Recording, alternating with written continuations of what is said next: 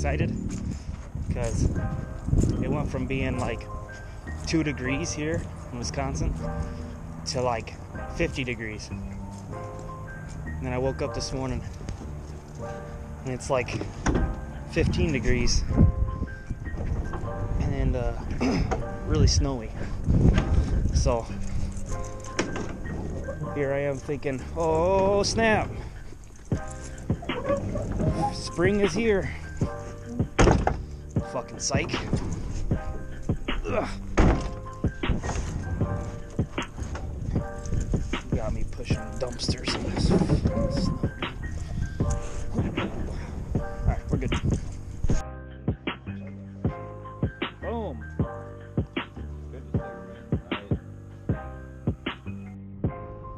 We got uh, head, uh, Jose's head. Now we got all that situated outside. Camaro's looking fuego.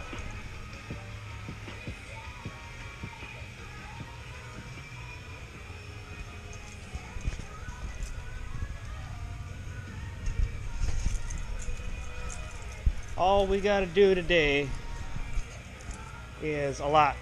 So, where we left off, Sedan, likely going to try to source some factory lines just because they're a little more banged up than I had hoped for. So, we're going to try to call up Honda and source out just some factory replacements. Uh, I don't want to mess with, you know, putting unions on fuel lines and using rubber hose, this, that, and the other. The previous owner used some sort of not even fuel line, it's like just vacuum line. So it's getting soft, and I don't like that, especially because this thing's likely going to see ethanol. So just gonna try to source new fuel lines, get that get that rocking and rolling. Don't have to worry about it. We have an oil pickup gasket that came in from Honda, so I'm gonna go pick that up over at Honda, and uh, we can get the windage tray and the pickup all buttoned up. Which reminds me, I left the tray in the ultrasonic overnight, so that's probably ultra warm right now. So we'll shut this sucker off because that's actually, you know what? Let's run it through another cycle. Yeah, we'll run that through another cycle. Let's just pretend like we meant to do that. Uh, we got Jose's car, or sorry, Jose's head back from the machine shop. Dirty, dirty, dirty spark plugs. We're gonna go ahead and swap those out. But we had it vacuum tested and it passed with flying colors. Um, so I guess I'm just really good at lapping valves that are super pitted. just kidding. Um, but no, for real, those those valves were super super pitted up, and it had me concerned there for a second because I didn't know if I lapped them far enough, and this, that, and the other. So got all that tested, that passed. We picked up our 82 millimeter GSR rods and pistons. So these were used. Um, actually, I got this this whole block on basically trade. Um, the rings, the bearings were obviously not too hot, as you could see. So I'm gonna swap the bearings out. I actually had them put ARP hardware on this thing, or these rods anyway. So swap out the uh, factory rod studs, and we put ARP studs in, and uh, had them align hone all that. So we're gonna get that uh, probably buttoned up soon. Might hand polish the crank because it's pretty polished already. I just because of the way the bearings looked, I might just hand polish them, um, deep clean them pretty good, and then uh, you know slap it all back together with new bearings and rings. So we'll get that uh, GSR whenever we get some free time. We'll get that thing plugging away. Um, I haven't really decided what I'm going to do with that yet. I guess I might just hold on to it until somebody needs one, or who knows, maybe we'll pick up a little project car and see what we can push out of a factory rod piston with ARP rod studs. I don't know. But as of right now, that's what we got done last night. So, um, this B18B1 guy dropped off a Type R final drive or sorry, Type R differential LSD with ring gear. So we have a GSR transmission that I completely refreshed. I, I was gonna put it in the sedan before we ended up getting this uh, LSD GSR transmission for it. So probably going to pull out the factory GSR diff and then do some research on cap uh, compatibility with the GSR final drive and see if we can't just swap diffs over uh, without you know messing with the input shaft or anything like that. I'm hoping that's the case. I'm hoping that's what we can do. I've never actually thrown a factory type R uh, final drive, or sorry, factory type R differential in with a GSR final drive. So that's going to be a learning experience for me, um, and hopefully we can make it work. Because all we have is GSR and LS stuff around here. No Type R goodies, because we ain't that special got ourselves a clean one in. CSS B18 B1 bottom end. Uh, unknown on what these pistons are. I have to look up the part number. Um, it's got some H-beam rods, obviously billet pistons, and unknown what bearings they are. This build, this whole bottom end was put together by another shop.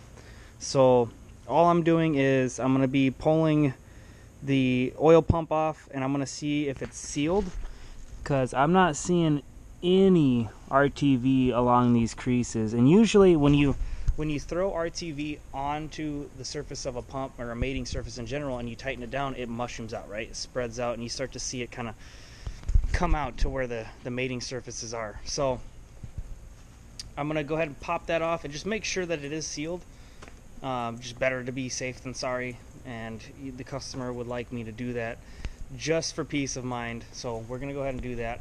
Um, though you could see on the rear main seal they use black RTV. I don't know if you can see it. The lighting's kind of not too good, but there is black RTV mushrooming out from the rear main. So, and it does look like they put a new rear main seal in there.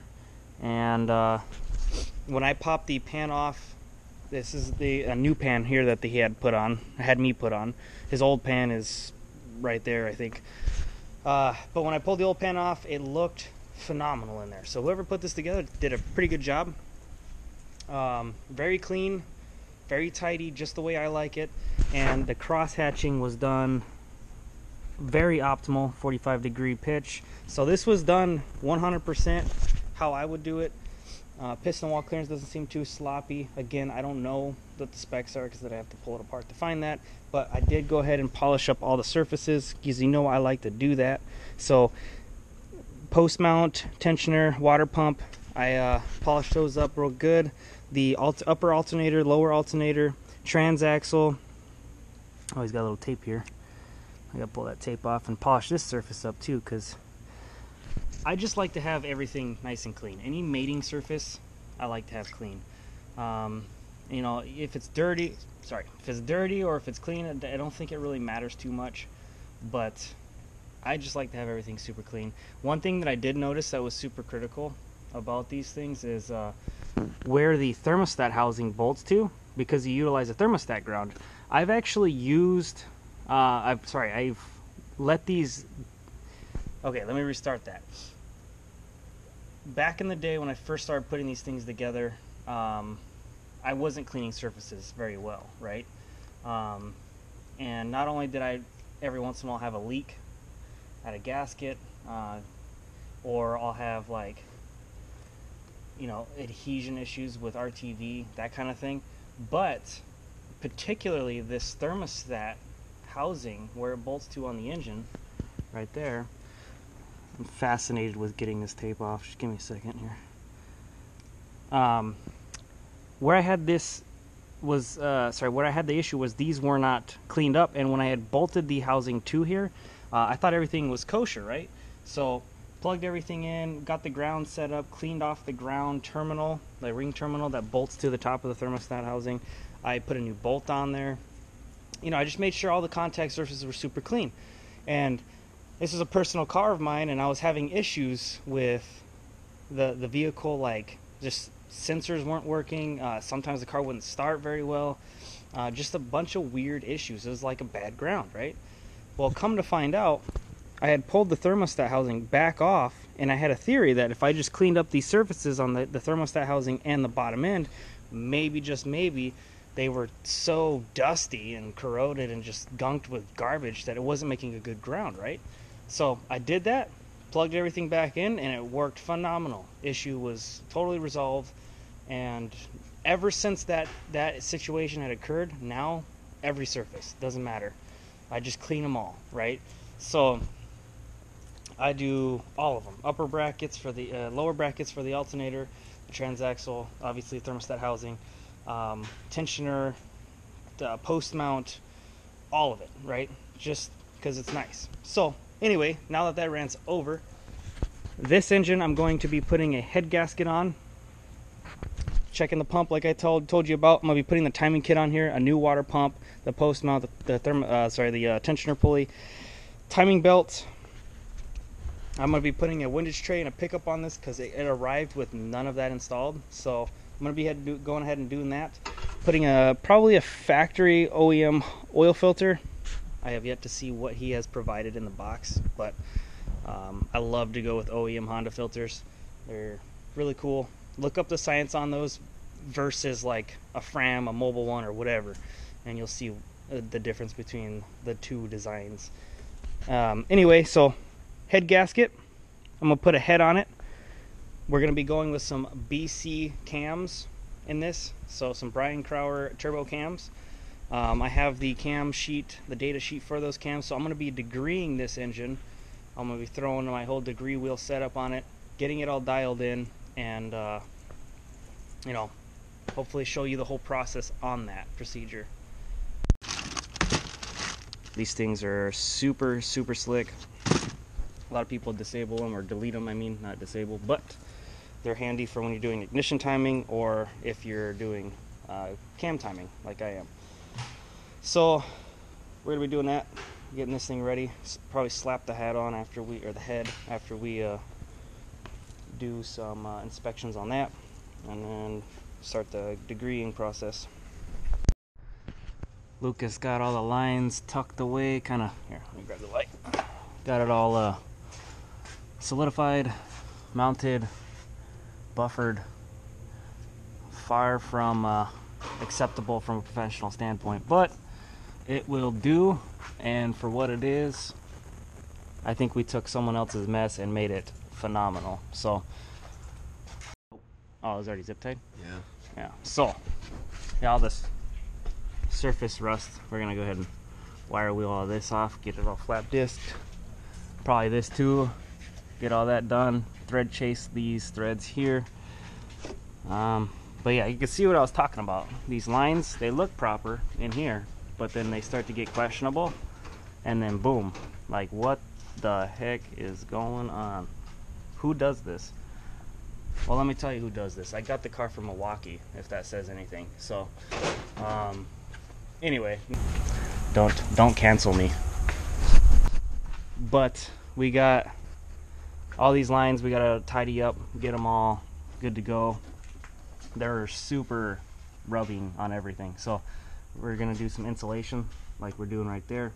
Basically cut some hose and then make a slit down the middle hug the line with the hose and it acts as a buffer for the uh, the line to whatever we're mating it to. So we're gonna do that. It's only temporary until you know the car's done and driving and all that good stuff we all have fuel lines to run yet. So we got the feed line disconnected up there. The return line is disconnected. You can't really see it but over there. Um, we're gonna leave the EGR ventilation hose or whatever that is just the way it is. It can rust away over time. We don't care.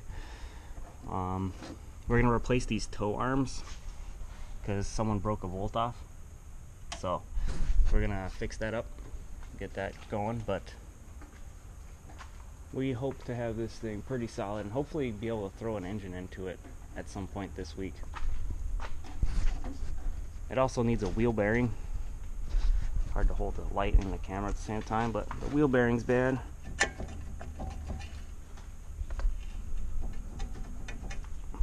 So we're gonna get a wheel bearing for it. And then this is the line that we're gonna replace on this corner because you can see it's starting to rust. Probably throw a new fuel filter at it. Um, aside from that, we got a leaky brake line back here. We'll probably pop that bolt out and then replace the uh, copper washers because that's likely what it is. Just a copper washer issue. And then, uh, a lot of rust prevention, line repair, and preparation. Actually, actually, I got a flashlight. Boom! Good to stick them right in the light. That's sick, dude.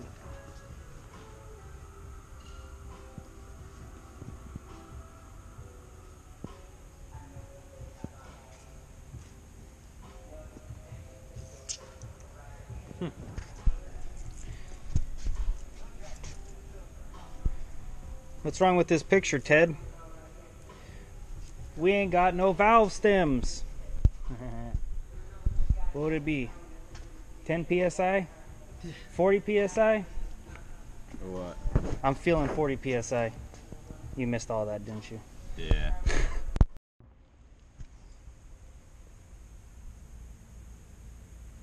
It's gonna look sick. Diego's fantastic work. Nick says he's he doesn't approve though. He don't like it. Yeah. He prefers this. Yeah.